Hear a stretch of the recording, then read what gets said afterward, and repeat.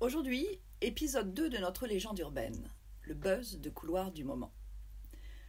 Alors, autant vous dire qu'au bout de 5 jours de défilé italien, il en ressort une urgence absolue, mis à part celle de rentrer chez soi. C'est le besoin impérieux de vous faire partager l'incroyable rumeur qu'on vient d'entendre un peu partout, et pas qu'en écoutant aux portes. Le logo est faux. Ouais, je répète, le logo est faux. L-O-G-O, F-A-U-X. Et on n'est pas en train de vous parler de nos logos ou de vous annoncer que le logo est mort, bien au contraire. Avec en ce moment toutes ces histoires de wording, de messages, d'écussons, d'initiales, on est plus que jamais en plein dedans. Non, l'alerte générale réside bien dans le fait que le logo, à partir de la saison prochaine, est faux. Il est bien présent, mais il est faux. Si je vous dis un cochon chez Gucci, ça vous parle? En fait, c'est lui qui nous a mis la puce à l'oreille, qui a vendu la mèche. Révélation qui s'est confirmée un peu plus tard chez Prada où tous les logos de la marque, présents sur les vêtements, les accessoires, ont été génialement restylisés, redesignés, au point qu'on ne les reconnaît plus. Alors, le problème maintenant, c'est qu'il va falloir aller expliquer à un riche client chinois qu'à partir d'aujourd'hui, il va devoir mettre mille boules dans un petit goret rose, aussi cute soit-il, patché sur un sweatshirt.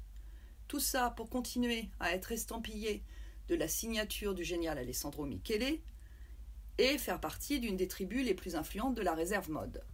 Ça ne va pas être simple. Et pourtant, la rumeur se confirme.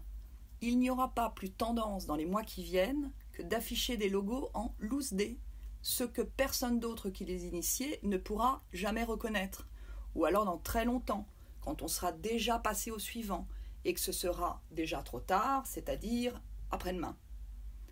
Pour faire encore plus simple pour ceux qui ne comprendraient rien à ce qui est en train de se tramer, vous pouvez brûler toutes vos toiles siglées, vos monogrammes, vos initiales. Plus c'est lisible, moins ça le fait. Probablement parce que les vrais logos ont été tellement copiés, détournés, récupérés, que l'idée aujourd'hui c'est de brouiller les pistes et d'embrouiller le mec un peu novice. Moralité. On préfère vous mettre tout de suite dans la confidence le logo qu'il vous faudra la saison prochaine, c'est celui que vous ne connaissez pas encore et que personne ne reconnaîtra.